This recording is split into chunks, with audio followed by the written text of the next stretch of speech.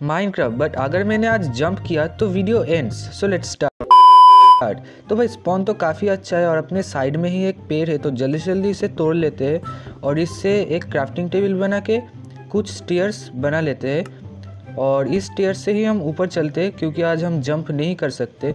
तो इससे ही चलते और एक विलेज वगैरह ढूंढते हैं। ओ भाई साइड में ही एक विलेज मिल गया। क्या लक है मेरी? चलो अच्छा तो लक है। अब उधर पर चलते यानी कि विलेज पर।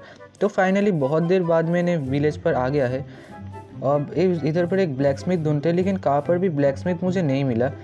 तो इधर से एक पीग को ही मार लेते। अभी यार मैंने तो जंप कर दिया।